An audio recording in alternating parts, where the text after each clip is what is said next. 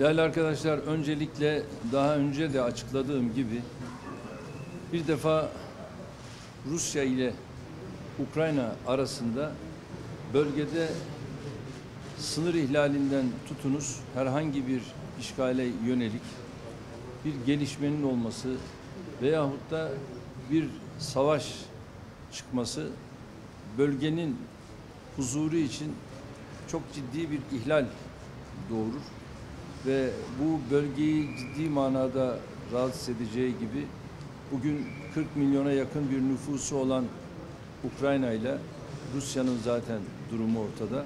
Bu kadar büyük bir nüfusa ha- hakim ve öbür taraftan da Rusya'nın tabii alan olarak bölgenin en büyük ülkesi, en büyük devleti, güç olarak en güçlü devleti. E, burada bir huzursuzluğun doğmasını Türkiye olarak bizler kabul etmiyoruz.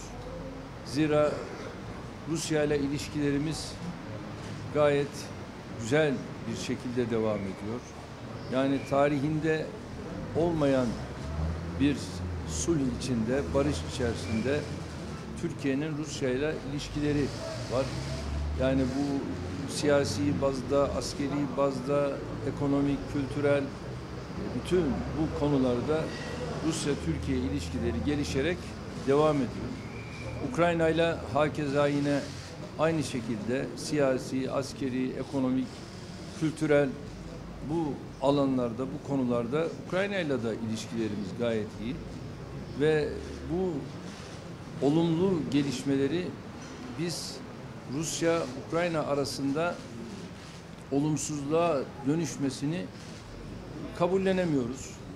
Dolayısıyla da Rusya ve Ukrayna arasında bir barışın olmasına, bir barışın özellikle hakim olmasına biz arabulucu olabiliriz. Bu konuda üzerimize düşen görev neyse bu görevi yapmaya hazır olduğumuzu daha önce de gerek Zelenski'ye gerek Sayın Putin'e de ifade etmiştim. Şimdi önümde bir Ukrayna ziyareti var. Bu arada belki Sayın Putin'le ama telefonla ama belki bir Moskova ziyareti olabilir. Bütün bunlarla beraber biz bölgede barışın egemen olmasını, hakim olmasını istiyoruz. Bunun için de üzerimize ne düşerse bunu yapmaya hazırız. Efendim, omikron varyantı kaynaklı tüm dünyada koronavirüs vakalarında artış var. Türkiye'de de artış olduğu görülüyor. Bugün 70 bin üzerinde vaka vardı. Hastaneler bugünlerde biraz üstesinden gelebiliyorlar. ancak Önümüzdeki döneme ilişkin bir tedbir düşünüyor musunuz? Ayrıca aşılama çalışmalarında istenen seviyede ilerleme sağlanıyor.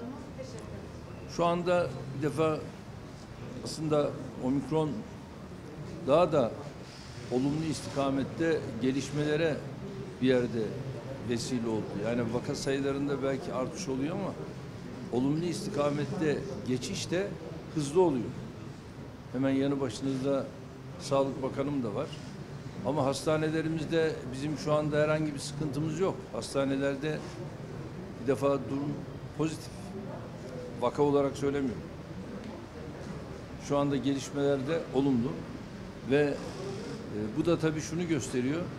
Yani şu sıkıntılı dönemlerde hastane inşaatlarımızın ne kadar hızlı gittiğini ve bu hastane inşaatlarımız sebebiyle de gerek e, şehir hastanelerimiz gerekse diğer hastanelerimizin inşası Türkiye genelinde dikkat edilirse hızla gerçekleşti ve şu anda hastanelerimizde doluluk oranı da böyle anlatıldığı, zannedildiği gibi değil.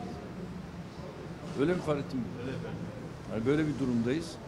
Dolayısıyla buradan da endişemiz yok. Ama her geçen gün bence daha iyiye gidiyoruz. Fakat biraz vatandaşlarımızın da dikkatli olmasında yani 3M bizim için önemli.